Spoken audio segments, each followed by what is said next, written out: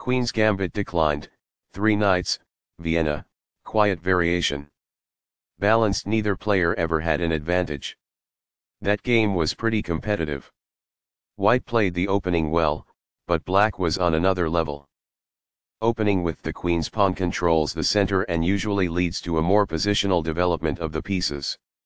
e6 prepares for a quick d5 pawn push and allows the dark squared bishop to develop. C4 gains space on the queen side and the center, and prepares to develop the knight to c3.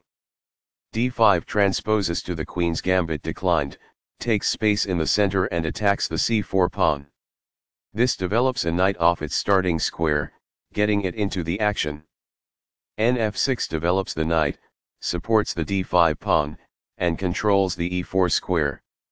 nc3 develops the knight, attacks the d5 pawn and controls the e4 square. This exposes an attack, threatening a pawn. It is good. That was a free pawn.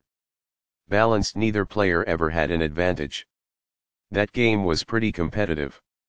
White played the opening well, but black was on another level.